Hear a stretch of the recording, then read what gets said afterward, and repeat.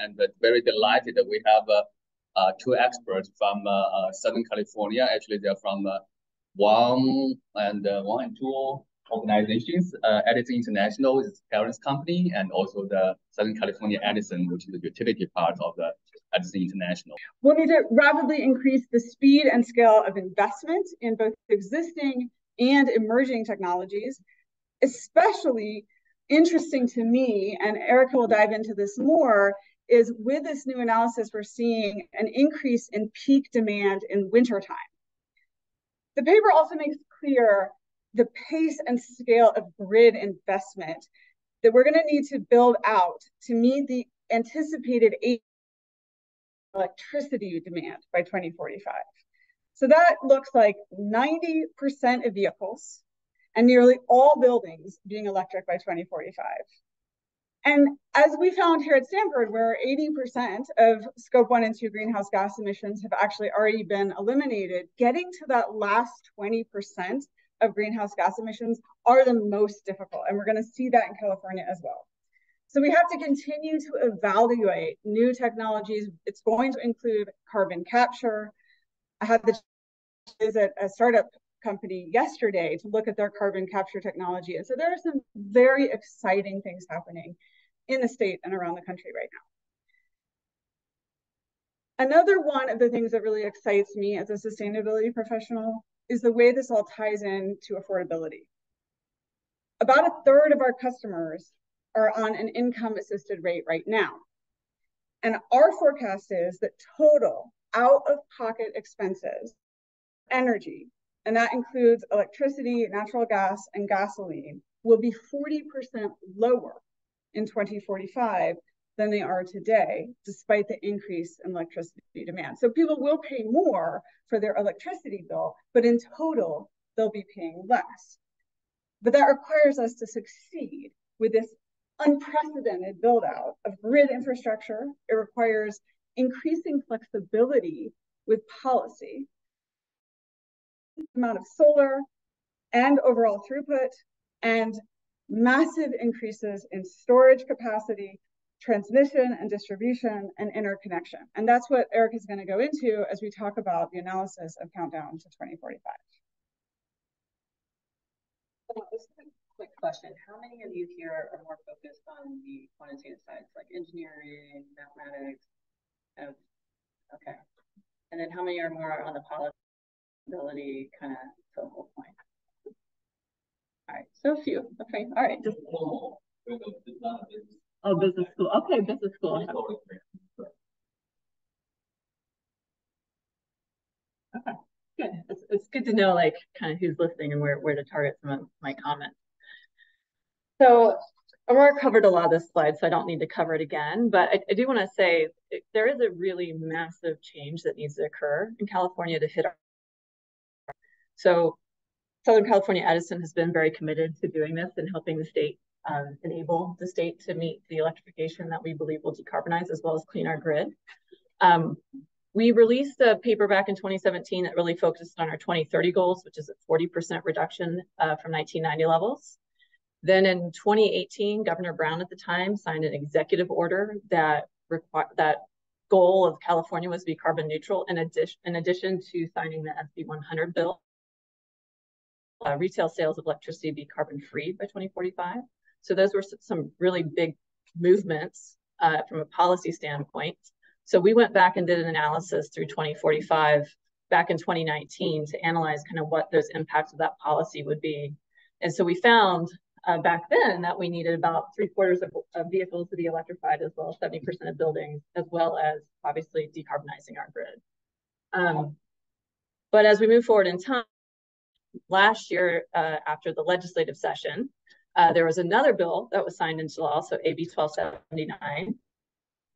So that requires um, that actually executive order that Governor Brown signed uh, for carbon neutrality that made it law. So that is now a law, not just an executive order. And there's an additional requirement in that bill uh, that requires 85% emission reductions by 2045 of direct emissions. So you can't just go out and offset it. You can't use direct air to pull it out of the sky. Um, you also can't offset it necessarily with uh, natural and working lands.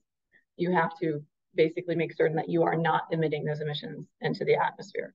So that's a that's a different kind of tilt, and that's really what's driving a lot of the additional electrification uh, in, in our current analysis. Another, so this is, I just went through this, so we'll keep.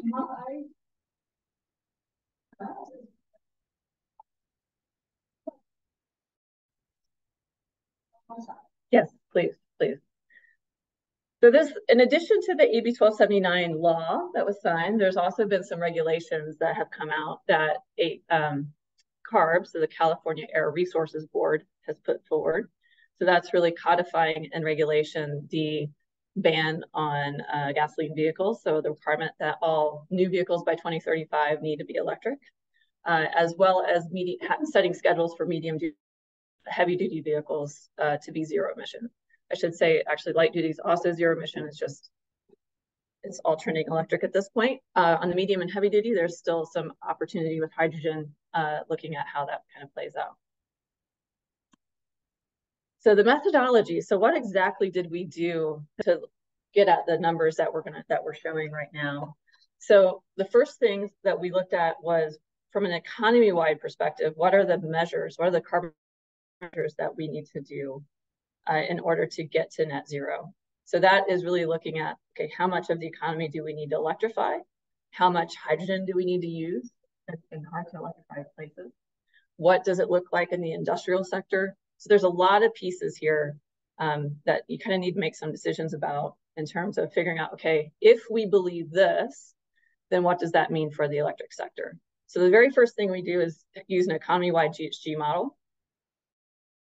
It is based off a model that was developed for, for the California Air Resources Board uh, by E3, which is a consulting group. Um, but they really do, it's the model itself is called Pathways. It's a public model, so you can use it, you can download it, etc. In that particular version, it's a more of an accounting model, so you do have to make your own choices. We use a more proprietary model that a, a different consultant uh, created called Evolved Energy, uh, and they do have some optimization to kind of get at more uh, optimized answers, but you still have to make some choices. So I wouldn't say it's a fully optimized model, um, but you kind of use that to establish where you think you need to go to hit your 2045 targets from a high level. Then you get into, okay, if we have, let's say 95% of our building electrified in terms of natural, in terms of space heating and water heating, so using heat pumps, or, and if you have 90% of your vehicles electric or what does that mean for your electric load? So that goes into, we, we have various proprietary models that we've developed in-house of demand forecasting. So not, not just looking at kind of economic consumption growth, traditionally speaking, but also how these kind of modifiers layer into that. So BE, so building electrification, transportation electrification, and then also uh, demand modifiers like rooftop solars and, and behind the meter storage. Then we take that demand forecast and what we call our capacity expansion model. So that's looking at, okay, given this load, how many resources do we need on the system? How much solar, how much batteries, how much wind? You know, what, what does this model want to select? Interestingly, when we did our capacity expansion analysis this time relative to last time, we had numbers and cost assumptions that came from the, the CEC, so the California Energy Commission, on wind is going to, the technology is going to evolve over time. And because that became more affordable, even though it's still expensive today, over time we expect it to, to decrease. And because the generation profile of that technology is very um, compatible with kind of offsetting some of the solar generation, the model really wants to select offshore wind. So basically we put limits on the potential. Anytime we put a limit on the potential, it selects all of it because it really likes that price point we have it, as well as the, the profiles that we have. There's still uncertainty. There's a ton of uncertainty on the price point. Uh, we'll get into that a little bit more, but I did want to kind of talk about that a bit. So after we do our capacity expansion, we do, we push all those resources that we selected that we think we need, and we put it into what we call our production uh, cost model. So you, we have a lot more constraints in there. It's a zonal model, uh, but it looks at like, can, can these resources solve the load um, at a, an 8760 time, you know, hourly, hourly time uh, chunks for that year for 2045. In addition to that, we also incorporated a loss of load expectation study. So what we did there is we run 500 scenarios of different load profiles that really try to stress the system. And if we see that we have lots of hours that we are not able to serve load, we go back to the capacity expansion model and we add more in order to solve uh, for, for those unserved loads. Kind of different kind of different resources or, or more of it, you know, whatever that looks like, but that, that's what you're kind of iterating through there. And then after we get that, where we feel like we have a reliable amount of resources on the system, we then figure out, okay, how many transmission lines do we need to connect all of these resources to load? And then how much distribution lines do we need and that we're connecting those resources to load from the transmission system? So we'll go into all this.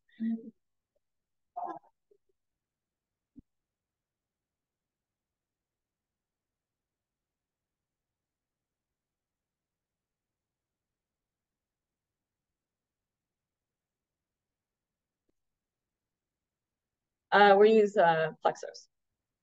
Yeah, yeah. And the capacity expansion is a ABB product. So, and so on the affordability side, so the last piece of this is really looking at, okay, how, how affordable is this? Are we cost way too high? Like, what does that look like? Um, and so that we, we go through that process and I'll share more of that here. So let me go to the next slide. Any questions? Yes.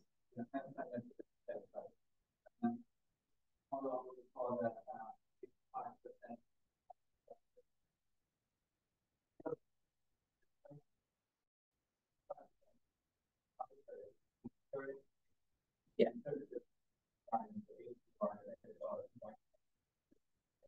Yeah, so in terms of the economy-wide model, it, it, does assume that we, we get to the 85% reduction threshold, uh, and then there's 15 percent. So which is really about 60, I think it's 64 and a half million metric tons of emissions in the economy that either need to be offset through direct air capture or through natural mortality out there.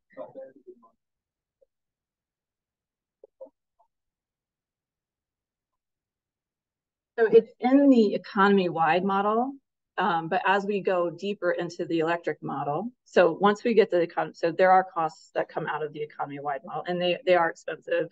And I will honestly say it's, I would say one of the, if you all have research projects that you want to work on, figuring out how to do a better job at estimating types of models would be amazing because it can get swing wildly uh, based on very small changes.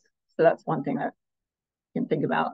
Uh, on the as you get into the electric specific model, so we're required to ha have 100% retail sales of carbon free.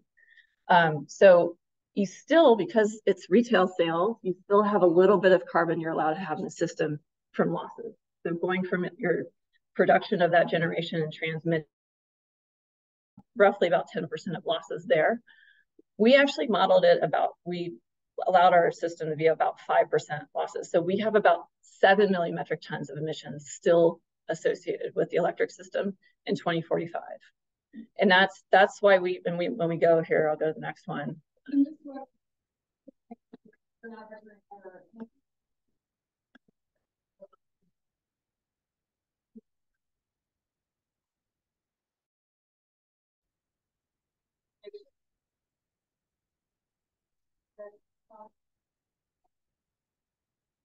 Um, 2035. Yeah.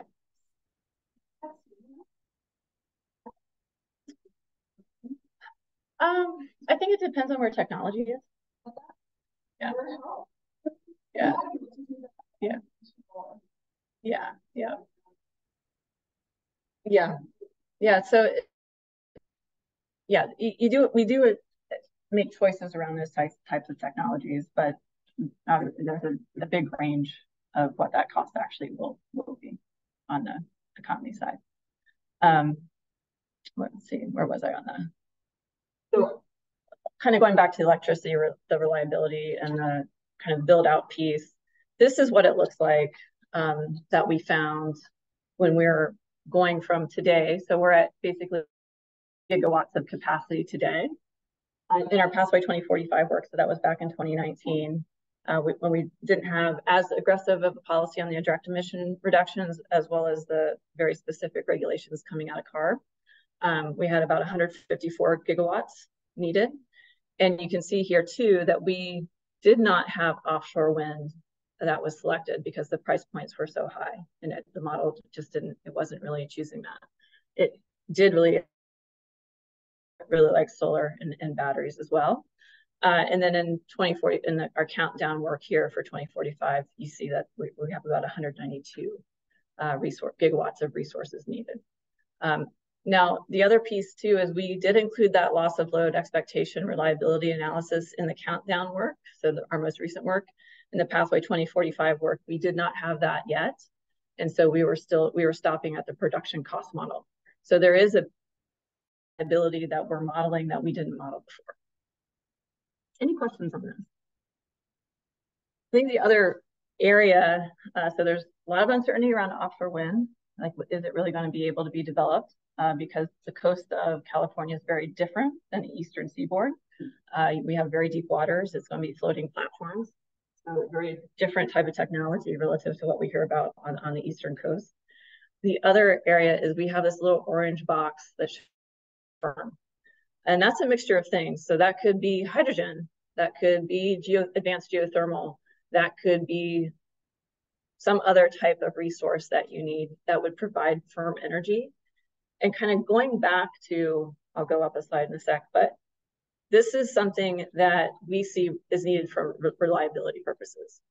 It's really there to make certain that we can ride through the winter time, which is different than what we see today. So if we go back one see here, the wrong way. So electricity demand. So because of the 90% of buildings being electrified for space and water heating using heat pumps, you can see in the wintertime, we have a peak, at least as we modeled it, you know, might be changes that happen throughout the 20 some years, um, that is almost as high as our summer peak, if not matching. And so that's really where the when we do our loss of load expectation reliability analyses, so that, that 500 scenarios, this is where we see the most struggle because when it's cloudy and the days are shortened, you don't have the solar to charge your batteries. Yes. Uh, I was going to ask about the economic side of what exactly was the one for all of these uh, technologies? So do you mean on the development side or actually deploying them? Um, building the power plant. So that will come from ratepayers, from the customers. So we will pay for that. Yep. It be?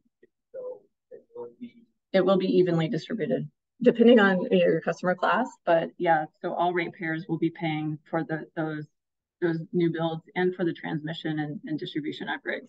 What we can get a little bit more into picture. I think the one thing that's a little different about how we're what's unique about the fact that we're building out all of this to electrify and account for all this new load is you're adding kilowatt hours to your to the denominator and so you're actually getting slightly lower rates in 2045 relative to today which enables you know it's actually a, a good thing because you're using your system more efficiently than what we use today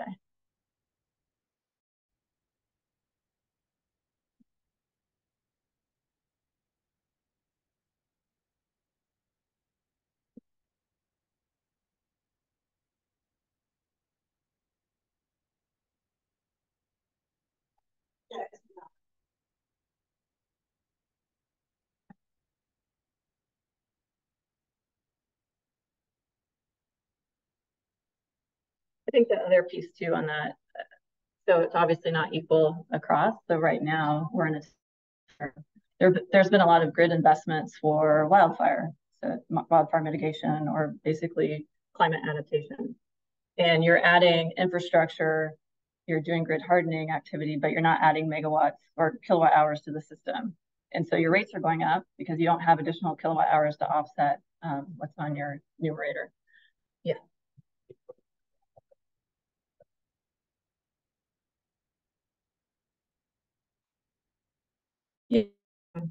So let me, let me get to, we will get there. Um, I can take it now or I can wait. So, just- okay, all right, sounds good. Oh, yeah, go ahead. Yeah.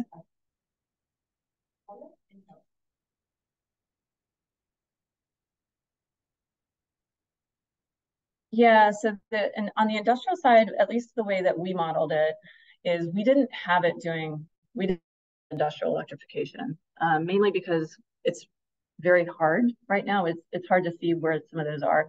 We have a lot of the industrial facilities using hydrogen, especially if they're heavy in heat processing and, and high energy needs. Um, that may change over time. Like there may be technologies that really do enable electrification of industrial processes. That's not how we modeled it. And we had the hydrogen.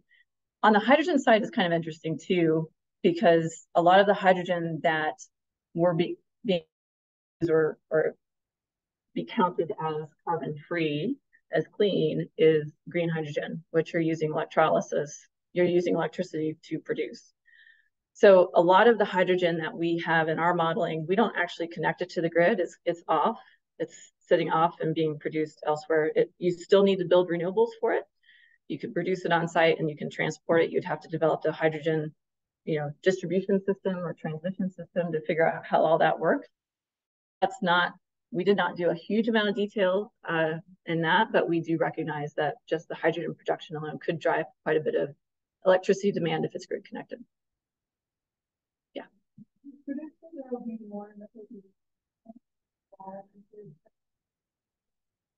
So it that's it could be right. So that that kind of bit of kind of clean, firm energy that we have modeled that could be filled with nuclear small modular. Um, the issue is right now California has a ban on all new nuclear, so we would have to one work with the legislature to remove the ban, um, and then assuming that the technology comes into play and is affordable, like you could actually see a huge shift in how nuclear uh, is deployed throughout the state and elsewhere. One of the biggest challenge with nuclear today, and I think going forward until it's solved, is where do you store the spent fuel? And until we solve that problem, at, I think at the federal level, challenging to get those small uh, modular reactors built, even if the technology is there, because you have a whole kind of, this kind of gets to sustainability, kind of the back end, like end of life issues.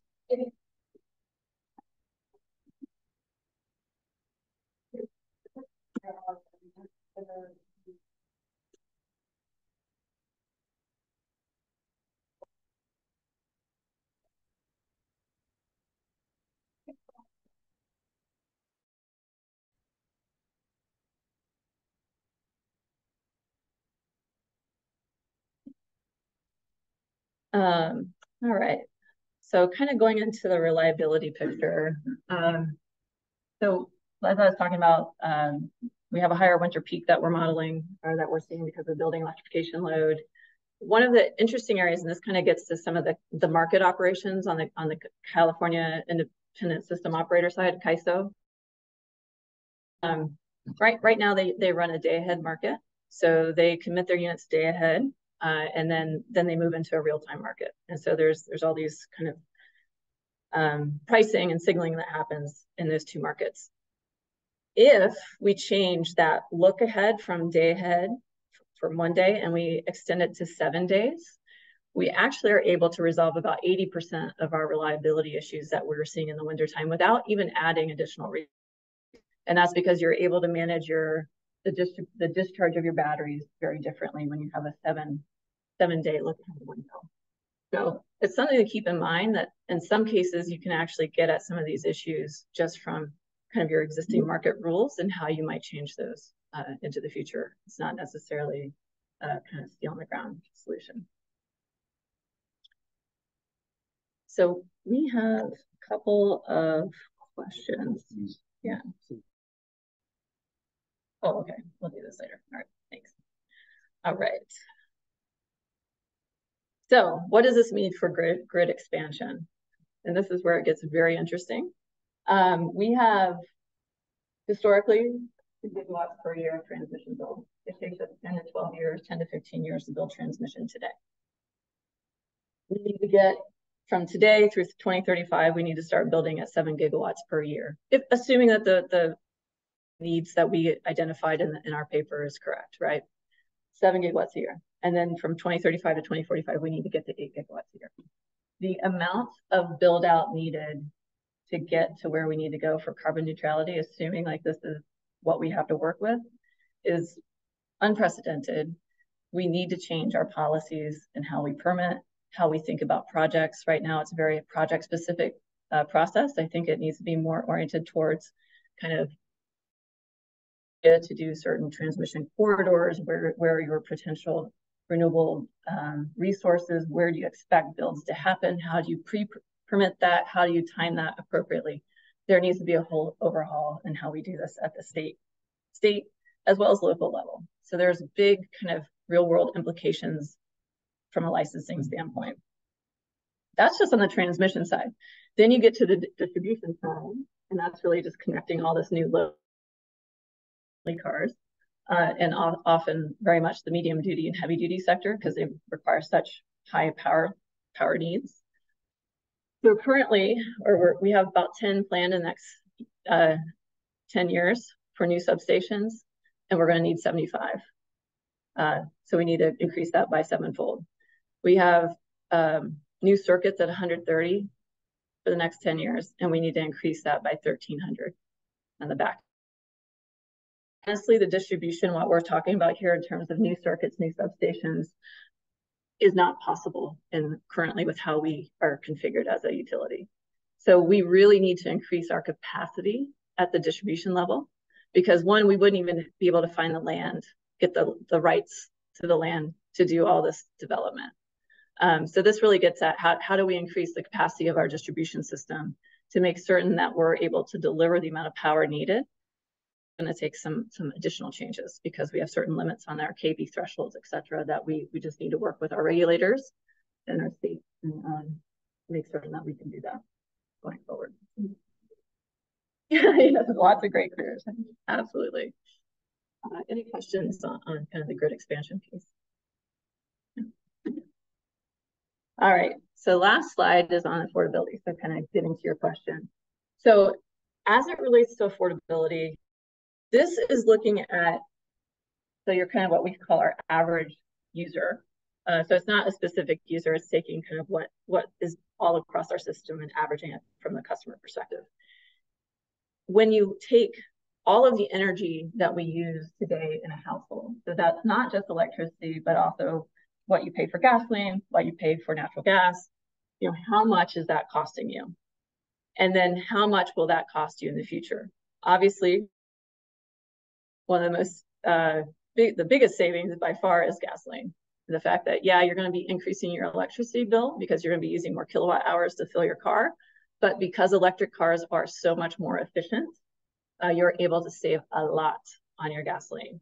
And I will say the gasoline prices that we modeled here are not astronomical. They're very similar to today's prices. So you could imagine a world where you actually have a lot higher gasoline prices, especially given what we've seen in the past five years in terms has moved. Um, but we, we were pretty conservative on that front. The natural gas piece, I do want to talk a little bit on kind of one of the interesting areas. So we're showing an average kind of quote unquote average customer.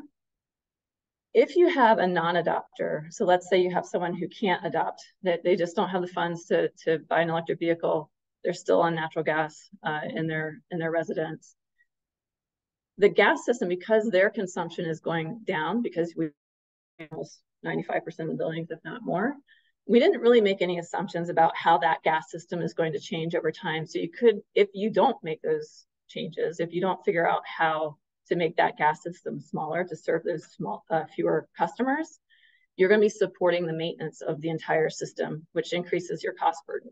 So there's another piece in here that is not necessarily something we focus on because we don't have a gas business. We're very different than Pacific Gas and Electric, PG&E, as well as SDG&E, which is San Diego Gas and Electric.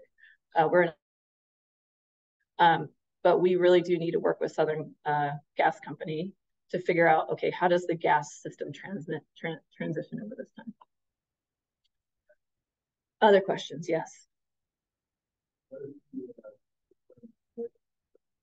Yeah, so, yeah, so the solar and storage piece is looking at if you so we also in our in our work assume about half of the households in California install or rooftops, half of the rooftops. So there's about 30 gigawatts of rooftop solar that's available to the system. And so this is the basically your levelized capital cost of in maintenance, basically it's all capital of solar and storage. And so you're generating some electricity for yourself, but that's that's that cost to have that on your on your house. Other questions?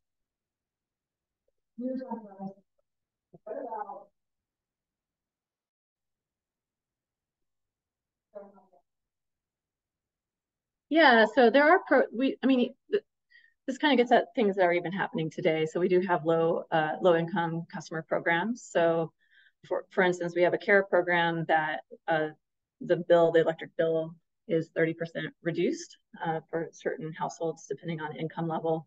Um, there's also a lot of additional programs to help get capital into low income folks.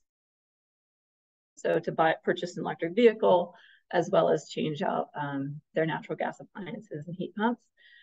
It doesn't mean that's going to happen all at once. Certainly it's something that will happen over time. And I think as we continue to transition, we need to keep track of kind of who's getting left behind and make certain that we're creating policies to, to help them not have that happen. Um, can you briefly speak to the grid scale solar, which might be more cost efficient yeah, so in terms of, yes, we do believe it, and it is true that grid solar is much more cost efficient. I forget the, I think it's like half, half the cost of what a, a home solar is, but because of the incentives that we have for home solar, um, it there is very attractive. The other piece too is we now have requirements for new builds, for new buildings to have a certain amount of solar on the rooftop. And so that is also included in, in our, our work to represent. Yeah.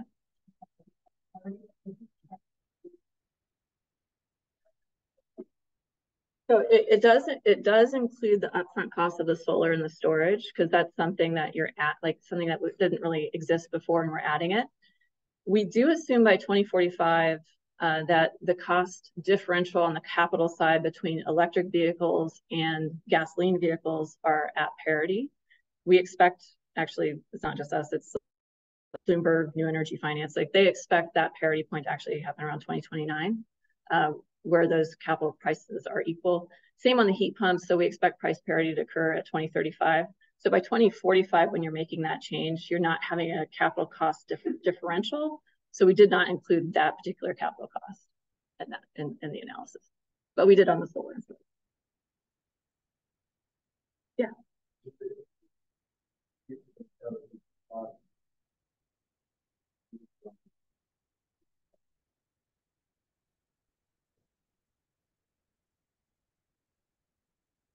So yeah, so um, the grid, the increases that you see here, so this is all 2023 dollars, so we're not escalating it by inflation at all.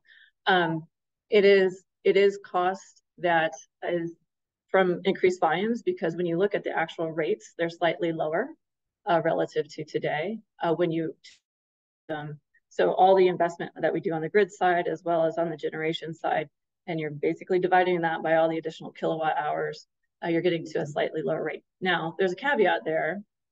We obviously just went through a five-year period of significant investment that had no kilowatt hours attached to it because we were hardening the grid to prevent catastrophic wildfires.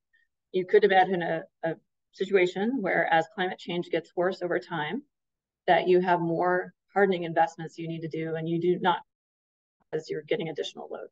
So when you, if you were to get the point at which you get to price parity. So if that countdown to 2045 bar basically is equal to the to today total, uh, you, you could double rates from the countdown. So you could double from where you are.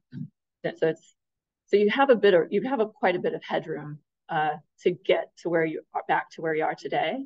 Um, but it is a you know we're we're looking at numbers years from now, so going to be wrong. Yep. Yeah.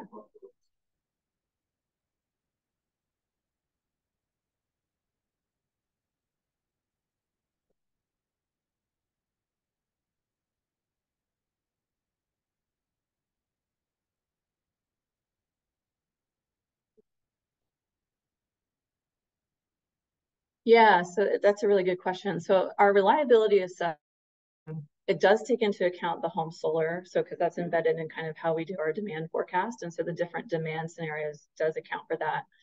In terms of our vehicles, we have assumed already quite a lot of managed load um, because if you don't manage the electric vehicle load, you're going to even have higher costs. So it doesn't really make a lot of sense.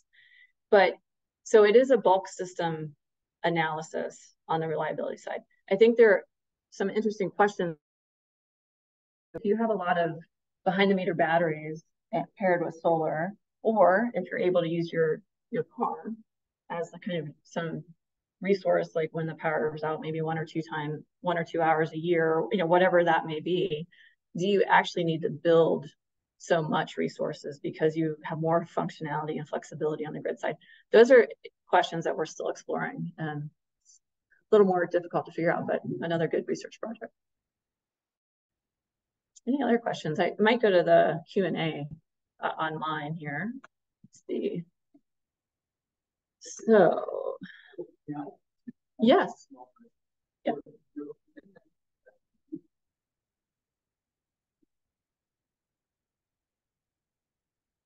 We did we have, so we did a loss of load expectation. So LOLE study, yeah.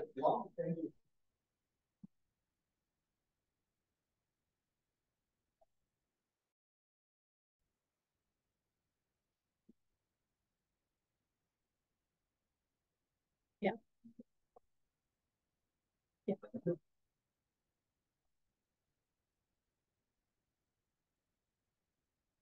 Yeah.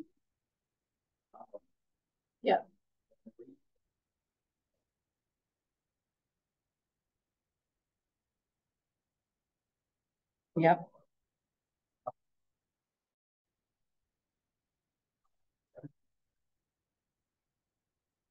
So uh, on the fast ramping side, though, one of the great things about batteries is they they actually serve um, can serve that quite well. Now you have to coordinate it, right? So you have to have that's where the some of the the incentive structure of how you what types of incentives you give for batteries. So you're going to have maybe a different like different ancillary structure than what you have today. Um, but you'd have to make certain that you have those batteries to, to serve that function. And then also, I'm sorry, you'd have a lot of other batteries that you'd be charging as well. So, so it is a challenge, and it's something that we got to figure out. Um, but we do believe, at least as we model it out, and we've we've done some smaller detailed assessment on the distribution side of how how that matches up, and we do see that we need slightly higher to manage some of that than what you might otherwise expect. Yeah.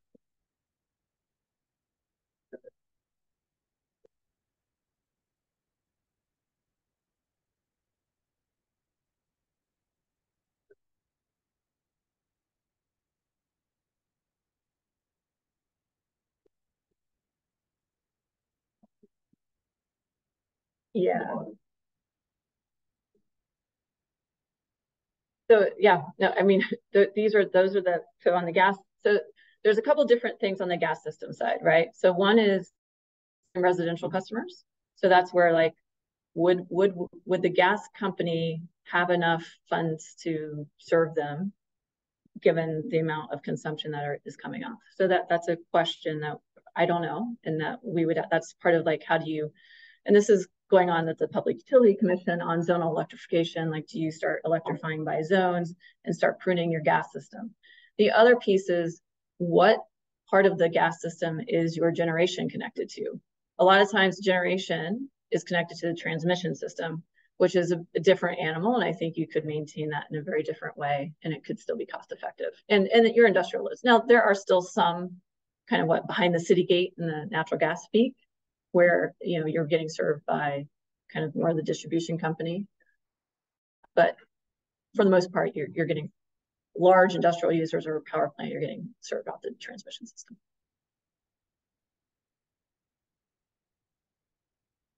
So let me go to the Q&A on online. Um, let me see here. Please address how vehicle to grid bidirectional electric vehicle charging plus more wind and solar power can push fossil fuels and nuclear off our electric grid and the need for grid upgrades by over 80%. What are each of the organizations represented doing to implement V2G universally as quickly as possible? So vehicle to grid bidirectional kind of electric kind of the potential potential there uh, is promising. There's still a lot of work that needs to be done.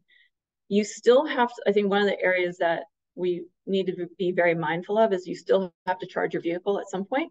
It's it's still just a battery. It's not electricity. Uh, so you still will need a lot of generation to get the electron electrons to that vehicle. It gets to the timing of kind of the timing of the day, and, you might have a lot more opportunity over time as the V to, V to G technology um, gets better. I think one of the areas that we don't talk about as much because people like to skip over it because it may not be as sexy, but vehicle to buildings. Like I think vehicle to buildings is something that's probably do because it's kind of working like your solar rooftop solar now. It's really kind of acting as a load mo modifier. If you can just get the technology from your vehicle to your building, right? Like if you want to do that, great. I think the vehicle to grid gets a little more complicated because you are doing interconnections to the grid itself. And so there's more complications there. Um, but anyway, that's my plug for V2B. Um, let's see here. So there's a question by firm generation was modeled at. I don't know off the top of my head, but if you go online, it is in the appendix. So you can look that up. Um, will these slides be available later along with the recording? Yes, you can have these slides later. Um, are consumers contributing to this growth? Yes, yes, consumers absolutely do need to go out and buy the electric vehicles as well as the heat pumps to get to this growth. Uh, we are, is it like one, is it 25% of new new car sales are electric? So that's, yeah, in California. Yes, yes. Yeah, but it's pretty, pretty good. Um, another question, let's see here. With distributed storage behind the meter, such as V2G at homes, which avoids having batteries sitting unused 95% of the time and leads to less vehicle battery degradation when used only Grid hardly needs any upgrades as the peak load doesn't increase and almost all grid upgrades are for addressing peaks. Please comment on this belief. So on the distribution side, there you might have some of that. Uh, you will need some upgrades though to handle medium duty and heavy duty uh, vehicles because they require a lot of power and they're not just sitting there 95% of the time, they're very much utilized. The other area is that you need the electrons, which is the comment I made before. Uh, so you absolutely, the generation uh, as well as those transmission lines to connect it to your distribution system um, in order to make certain those batteries are charged.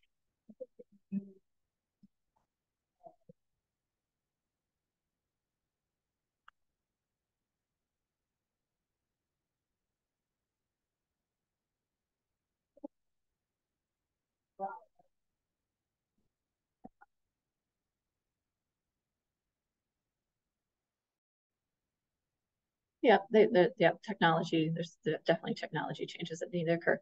Why, why does hydrogen not appear in this roadmap? So hydrogen is in the roadmap. Um, and I, I kind of talked about it a little bit. So it does appear on the transportation side.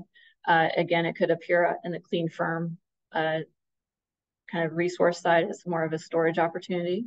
Um, but I think the other piece about hydrogen, and we talked about it a little bit, is just kind of your will be produced by high, uh, electrolysis, which really leads to you needing more renewables. And it's actually more efficient to use the electricity in the electric technologies versus producing hydrogen. You're actually getting more losses in that conversion back and forth. The other thing I'd like to talk about with hydrogen, so that one piece that we haven't really talked about is carbon capture and storage. So we absolutely will need carbon capture and storage technology uh, to help with kind of that industrial sector, kind of the more hard to electrify sectors. That could be applied to, to, to power generating plants. So you could see, you know, natural gas with CCS or even biofuels with CCS and generate negative emissions. So there's a whole piece of technology that is absolutely needed um, that we don't really talk about so much here because we're really focused on the electric system, but it really is important. The other thing is on hydrogen production. Uh, you, you through steam reformation. So you're either you're basically using natural gas uh, and you're separating the carbon from the hydrogen and you can store the carbon. So if you, you put that with CCS, you could actually produce a low carbon hydrogen. It's just a question of will regulators, will, you know, people in the climate community be accepting of that process if, if you really wanted to get more hydrogen in the system. Um, I think from a electrolysis standpoint, it does make a lot more sense to that uh, electric generation in electric technologies. Um, but there are other hydrogen production opportunities too.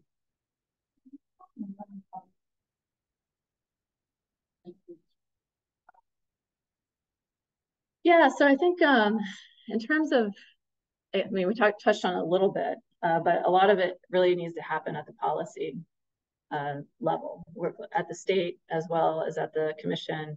So not only but also through our regulators. So we have the California Energy Commission, we have the California Air Resources Board, we have the California Public Utilities Commission, we have our natural uh, resources department. Like there's so many different agencies that we really need to work through to get this permitting, permitting and licensing kind of faster. Um, and also do it without harming the environment, right? Like we want to, it's not because we want to push through an voices and how we're we're planning the system. We just need to figure out how to do it faster while also meeting the needs of, of the other stakeholders. It's honestly not, I don't have a great answer. Like I think this is a lot of work that's ahead of us at the state of how do we figure this out? Because I, it, it is a real challenge and something that we'll all need to work together on. Um, let's see here. So here's another question. I would love to hear more about the role of demand response in the 20 what is the impact that you see in the capacity expansion model and the production cost model when you include demand response? How are you planning to procure that demand response, uh, either directly or versus third-party aggregators? Great question. So one thing I'd like to say is we, we actually embedded in our demand forecast, we have a lot of demand, what I would say load shifting occurring. So we, we include time of use rates so we, we make an assumption about 80% of the electric vehicle load is actually kind of charging it up. We do not make the same assumption for building electrification just because we believe that people are cold when they're cold, when it's cold out. Uh, so we'll figure that out. There is obviously on the water heater side, opportunity for storage and, and demand management there. Um, but for the actual heat pump for space heating, that's, that's a whole other beast. Um, so there is there's opportunity. We do also have, I think, uh, six gigawatts of demand management assumed that we went out and procured, uh, embedded in our resources. So there's that piece. In terms of answering whether we do this directly or through third-party aggregators, um, I think it really depends on where, where we can find the value. So if third-party ag aggregators are able to go out there and get the customers and they give it, we're able to get the portfolio from them, that's great. Uh, or there might be programs that we offer with commission approval um, that go out. Let's see. There's one more question on here. Yeah. Uh, so building on the clean firm gen, do you know what price point the clean firm generation was modeled? Oh, that's right. Is it safe to interpret this as the price point at which technologies like geothermal, long duration energy storage would need to reach to be competitive in market conditions forecasted? Um, yeah, I, I, would say yes. I think I, I don't. Uh, I think when you, right now the model really likes, like I said before, the offshore wind. So when you go in and look at our price points that we have in the appendix, you can kind of see where that is.